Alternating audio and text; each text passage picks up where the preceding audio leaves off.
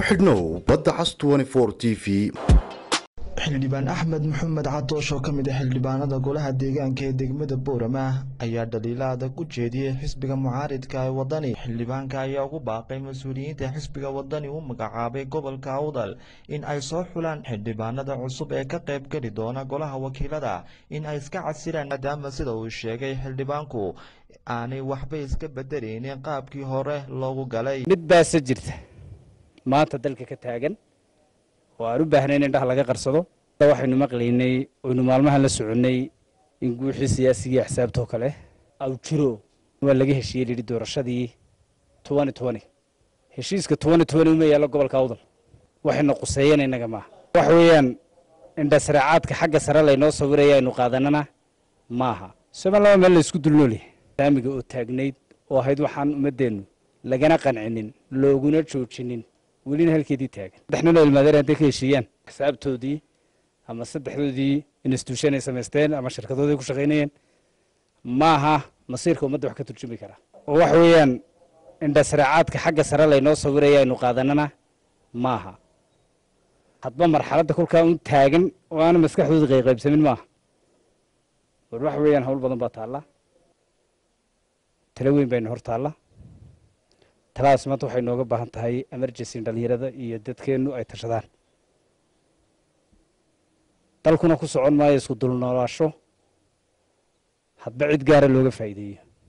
Kolley beeshaan ka soo jeedo shirarkeeda iyo howlaheeda si isdaba joogaanu insha allahu tacaalaa hawshaa ugu jiraa inaanaan u sii dul qaadan doonin isku dulnoolaasho dambe oo aanu joojinaynaana u dhammaaday de horta xisbiga wadani hormuudka ama guddoomiyiisu waa nin gobolkan waxa uu ka aaminsan yahay. Horeynu u aragnay golaha baarlamanka oo shiraya saddex iyo tobanka xildhibaanaha gobolka awdal ka baxeen.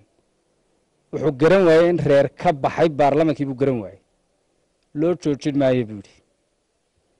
Tii tu la mid ah ayuu hadda ku tallaabsaday. Wuxuu soo xulay uu yidhi waxaan soo xulayaa xubnaha u tartamaya baarlamanka ee xisbiga saddex iyo tobankii xildhibaan baan ku soo xulaya. Afka kama odhan taasoo waxa weyaan cid gobol gobolka awdalka hoos qaadaya ma noqonayso. Xubnaha kaga jira gobolka awdal guddida oo weliba nin runtii ragaan aada ugu han weynahay ay ka mid yihiin xildhibaan abibakar inuu iska casilo ayaan u soo jeedinaynaa.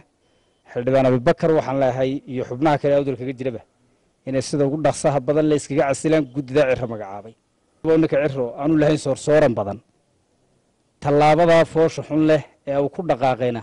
Ree awdal meel uga soo jeestaan.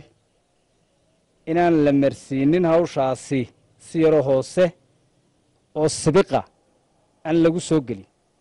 Hadday taasi dhacdana ree awdal waxay ka doondooni doonaan good dheer himiladii iyo hankii iyo kolba doorashada wixii dib u dhigayna ma ahayn saddexda ilmaadeerkees haystee?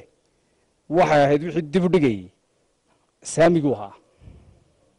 Welina xal lagama gaadhin. Hawshaa saamigana waxaanu leenahay ree awdal haddii si sibiqa lagu soo geliyo good dheer bay kaga dhici doontaa wixii ay ka qabeen hawshaas. Jamaal cumar tubeec telefishinka badda cas tony for t v magaalada boorama